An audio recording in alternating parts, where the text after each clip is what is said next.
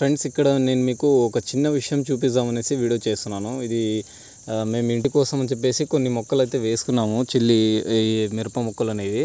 So ప్రస్తుతం ఈ స్టేజ్లో ఉన్నాయి. కాయలు అయితే బాగా కాసాయి. కాకపోతే ఇక్కడ నేను ఒక చిన్న విషయం మీకు చెప్దామనేసి వీడియో చేశాను. ఈ కాయల్ని చూడండి. ఇప్పుడు నేను ఒక ప్లాంట్లో నోటీస్ చేశాను. సో వాటిని పెరిగి మీకు చూపిస్తున్నాను. ఇక్కడ టిప్స్ చూడండి. ఈ టిప్స్ కలర్ అనేది చేంజ్ అయిపోయింది. డిఫరెంట్గా మారిపోయింది. సో కాయ కలర్ కూడా కొంత డిఫరెంట్గా ఉంది చూడండి మనకు. ఇది బేసిక్గా కాల్షియం డెఫిషియన్సీ అండి. కాల్షియం డెఫిషియన్సీ ఏర్పడినప్పుడు మనకు కాయ ఈ చివర్లో ఈ విధంగా కలర్ చేంజ్ అయిపోవటం విచిత్రమైన కలర్స్ రావటం అనేది జరుగుతూ ఉంటుంది. చాలామంది దీన్ని ఫంగల్ డిసీజ్ ఏదో అనుకుంటారు. ఈ పచ్చికాయ అయితే చూడండి కలర్ ఏ విధంగా ఉందో బ్రౌన్ కలర్లో లైట్ బిస్కెట్ కలర్లో ఉంది. ఇలా కనిపిస్తే కొంతమంది ఫంగల్ డిసీజ్ అనేసి కన్ఫ్యూజ్ అవుతూ ఉంటారు. సో ఇది కాల్షియం డెఫిషియన్సీ అండి. దీనికి మీరు కాల్షియం అనేది కాల్షియం అప్టేక్ అనేది సాయిల్ ద్వారా సరిగ్గా జరగనప్పుడు ఈ విధంగా జరుగుతుంది.